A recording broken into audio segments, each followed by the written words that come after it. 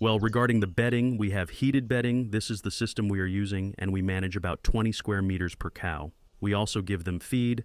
After about seven days, we provide the initial feed, which is the feed we use, so they get used to it and start eating. Therefore, there are cows in the robot that eat at least 1.8 kilograms of feed up to 7 kilograms as they are eating more. The milking sessions per day depend on the state of lactation of the cow, the days of lactation, the days of gestation of the cow, and the production. The robot holds her, does not milk her for 10 minutes.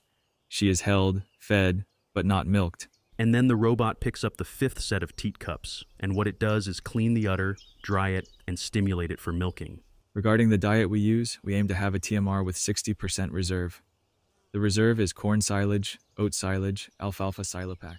Welcome. Today I am here in Uruguay visiting a dairy farm that has an automated milking system, robotic milking. Well, I hope you enjoy this video. Subscribe to our channel, leave your like here. Good video to everyone. Good morning. My name is Marcelo Riguar.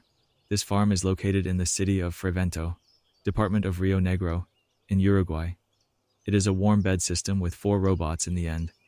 We started bringing the first cows on November 20th of last year and finished completing in December. And from January, we have all the cows. The process has evolved and the cows have adapted. This system was chosen because by confining the cows, it allows us to milk twice as many cows in the same area, and confinement allows us to achieve higher individual production per cow. The goal is to be above the average of 36 liters in all cows, and we are getting close to that. How many milkings are done per day on average? The milkings per day depend on the state of lactation of the cow, the days of lactation, the days of gestation of the cow, and the production. Based on these three parameters, the robot gives her permission. It can give one and a half permissions, or four permissions, or there are some cows that are milked up to five times. In other words, the robot, according to these parameters, gives the permissions for milking and the kilos of feed it provides. The kilos of feed, today we have an average of 4 kilos per milked cow, but there are cows that eat 7.5 kilos and others that eat 1.5 kilos. How is the robot feed? The robot feed is a feed with 30% protein, based on soy and corn. It is composed of 60% soy and 30% corn, and has a flavoring to attract the cow to the robot to be milked. Is it all pelleted? It is pelleted and palatable. This is a robotic system with smart gates because it is a voluntary system. But the cow, to go eat, drink water, and be milked, goes through a gate that reads her chip. If she has permission to milk, she goes to the robot. If she does not have permission to milk, she goes through a corridor to eat and drink water. It is a managed system. How did you design the robots? Well, DeLaval team helped us with the design. More or less, according to the area, we estimated the number of cows we could milk, and based on that, we designed the barn, all the robots part, and the office. So you are looking for 36 liters per day, on average 36 liters with four robots, right? Yes, four robots. The system is for 280 cows. Four robots, 280 cows is the idea. The ideal for the robots would be to provide more or less 3,000 liters of milk per robot per day. Today, we are already dealing with parameters of liters of milk per robot, and we are not talking so much about cows per robot. In Brazil, they talk a lot about 60, 70 cows per robot. Here, they are not thinking about milk production. With smart gates, we milk a few more cows than if it were voluntary, because the cow that does not have permission to milk does not go through the robot. In an open and voluntary system, there are cows that go to the robot. The robot does not milk them, but it takes up time. There are even cows that go through the gate 12 times a day. Thus, they enter the robot 10 times and are milked 3 times. That is, there are 7 times that they take up the robot without milking.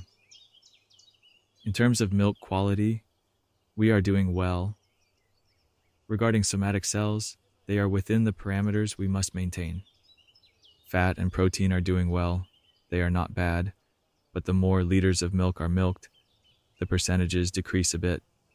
The percentage is lower, but if we count the kilos of solids per cow per day, we are within the expected parameters. And here, do they pay for quality or quantity? Here they pay us for quality, and they pay for solids.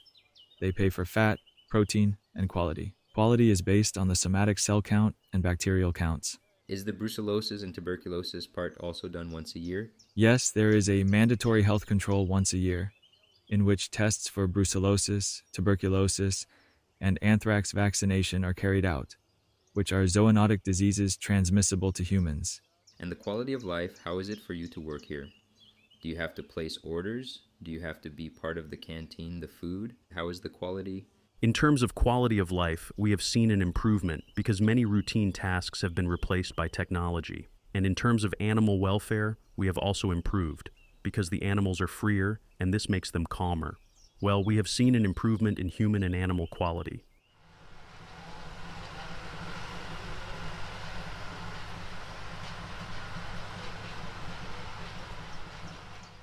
Regarding the diet we use, our goal is to have a TMR with 60% reserve. The reserve is corn silage, oat silage, alfalfa silopack, that is approximately 60%.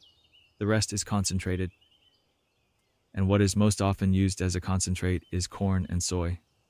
Then, a salt with various components is used to balance the diet. Alfalfa is not used here? Yes, we use alfalfa silopack. This is processed. We do it here on the farm, and all the silage part is outsourced to a company that does it.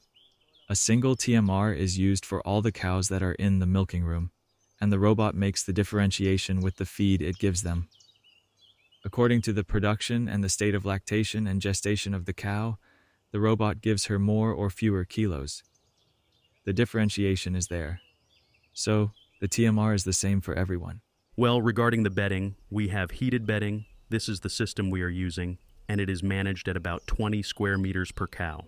The bedding is moved twice because there is a chemical process with nitrogen, oxygen, and carbon that is applied to the bedding. And well, in these winter months is when we must pay more attention to it because it cools more easily, and what we do is add more substrate. What substrate is used here? We use the chip, the fine returnable, and we have a factory nearby which is UPM, and well, we use this substrate. Is the substrate not a problem for you? No, of course, we place it very close to the substrate, and sometimes we also use some barley or wheat straw. It can also be used. When do we add straw? When we add straw, it is to make the bedding more voluminous and soft so that the cows are more comfortable. What we also seek when coming to the barn is that the cows are distributed throughout the barn, and this gives us a sign that the bedding is well uniform everywhere. Well, here the cows actually receive two components in their feeding. One is what the mixer unloads here in the trough, where the goal is to provide a basic diet, and all the fiber comes here, and then the robot allocates the concentrate to complement this diet depending on milk production and defined parameters. In reality, they all receive a basic diet here, and the robot makes the difference depending on the production level.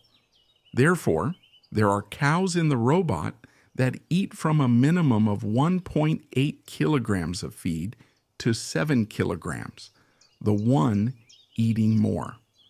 More or less here, we calculate about 26, 27 liters that they receive here in the trough, and the rest of the feed would come from the robot.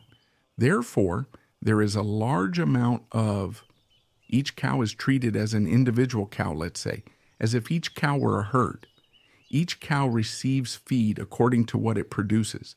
And there are cows that give 20 liters, and there are cows that give 60 liters within the same size, and each one receives different feed according to that. The basic components of the diet they receive here in the feeder with the fibers are corn silage, alfalfa bales, oat silage, and straw. At the moment, there is no oat silage, but the rest of the components are available. In addition, some corn grain is added. Soybean expeller is also added to this basic diet for the 26 liters on average. Furthermore, all the minerals in the mix, all the ruminal health part, and all this other part also come here in the mixer. It is formulated using the software available on the market, basically Ascend. And well, we try to put a lot of emphasis on management suggestions or recommendations of, well, everything related to cow movement, how to allocate feed, all this part is very important in these systems. Feeding is important, but all the management, how we do the transition, the fresh cow, how she goes to the high group, what is the strategy to change the feed she receives? All this part is very important, let's say, so that as they are diets that challenge the cows a lot, we do not have problems with sick cows and so on. And what are the challenges you have for milk production with robots, for example? Well, there is really not much experience in Uruguay with robots. I think we need to increase the amount of kilos they eat in a robot. In addition, the number of visits they make to the robot and the number of visits they make to the trough is a point that we should try to increase as much as possible. The more times they eat here, the more stable the rumen is, so we have fewer digestive problems. And uh, well, I think the other point is that all this is transition. Uh, in the prepartum and in the first 20 days of lactation is where the whole game is defined. And well, there are many things to be adjusted, I think, in general in dairy farming, not just in this case.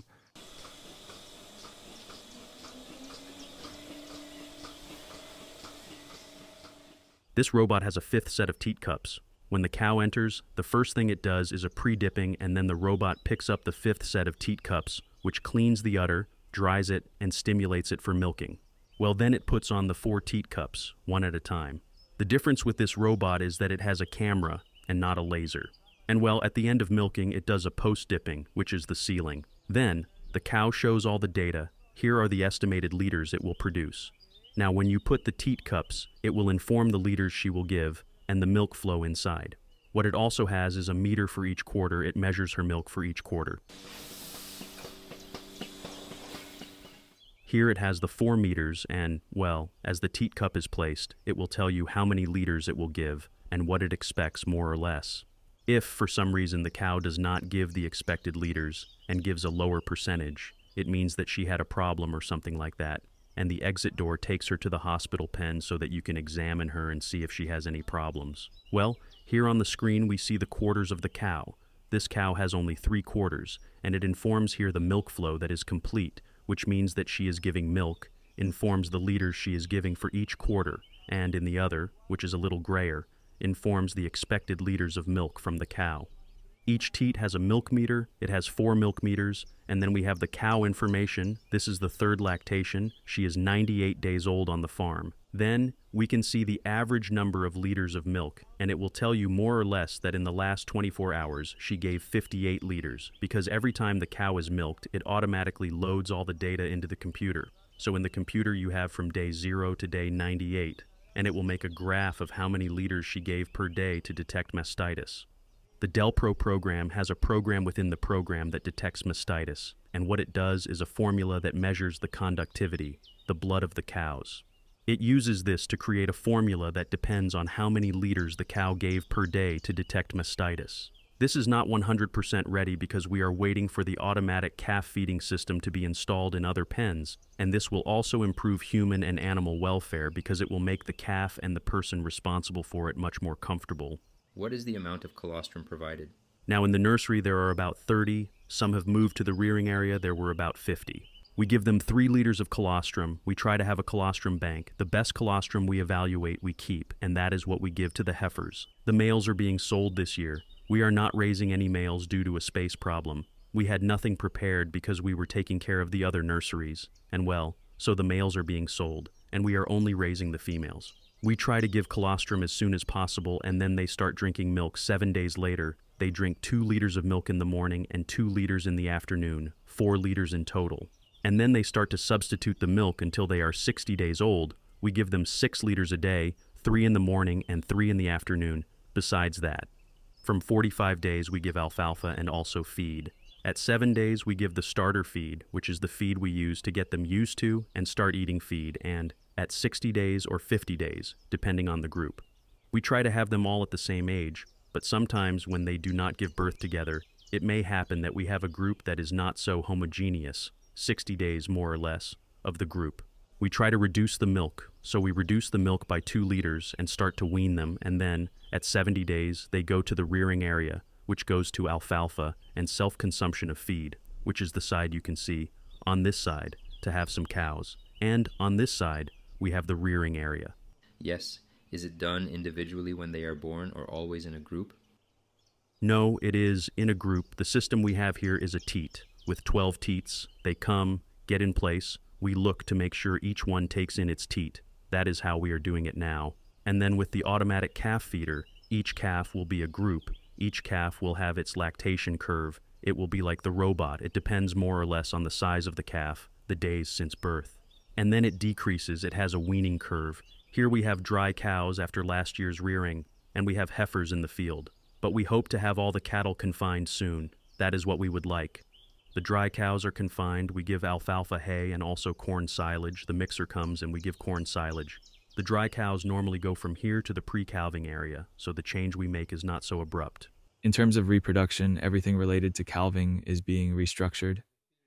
Because before we had seasonal calving as they were outdoors, and now that they are confined, the idea is to have more seasonal calving, avoiding calving in January and February due to the heat. But to have calving from mid February to November and what will complicate us is that we always used stickers, and now we will not have this part of calving because they remove the ink. The idea is to be closer to the cows, but as they are confined, it is easier to see them than if we were in the field. We can see the movement of the cows, and we can see and pay more attention to these cows. In addition, we are starting to use synchronizations with prostaglandin not on a fixed time, but according to observation. The robot sends us a spreadsheet with an index that measures the milk conductivity, the presence of blood in the milk, and the presence of a kick. The kick is associated with the existence of pain in the udder. According to these three parameters, it sends us an index. The cows that are in red are reviewed. We go to the quarter. If it has recently calved, we review the quarter, do a CMT. If it is clinical mastitis, we treat it. If it is subclinical, we give an anti inflammatory. At the next milking, we review it again. How do we review? We give an order to hold the cow. When she enters, the robot sends us an alarm signal saying that the cow is held, and we have 10 minutes to review her. When she enters, the robot holds her, does not milk her for 10 minutes, she is held. If it exceeds these 10 minutes, it releases her without milking and puts her back in the waiting pen. When she enters and is held, it gives us time to review her. The cow we review is the one that gives an index above 1.8.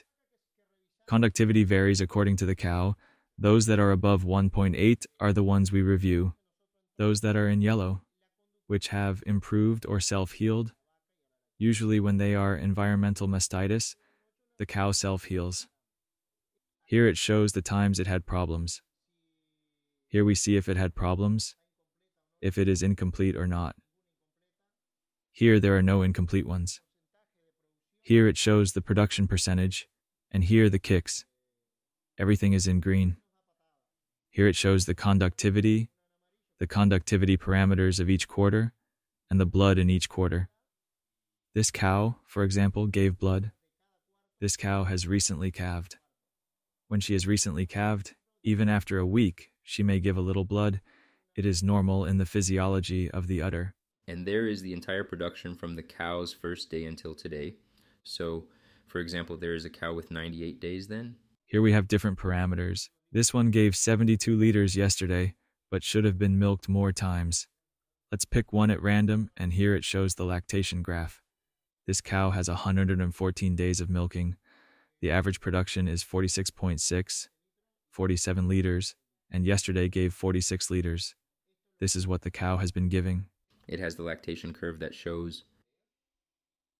The lactation curve, that's it. I will stop here. Here it shows, look, the lactation curve that the cow has been making and the concentrate consumption graph. As production increases, it gives a little more concentrate consumption and the daily production.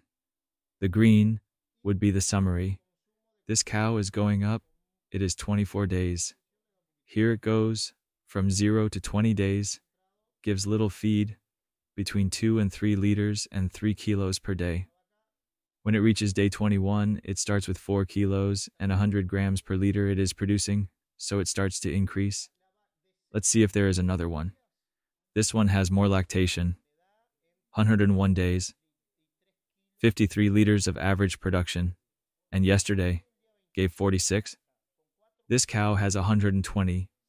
The point is that to start seeing good results, you have to wait for a whole complete cycle because I have cows here that calved last year and come from another system. Those that start calving in this system and are already being milked here, there is the difference. There is a 6 liter difference.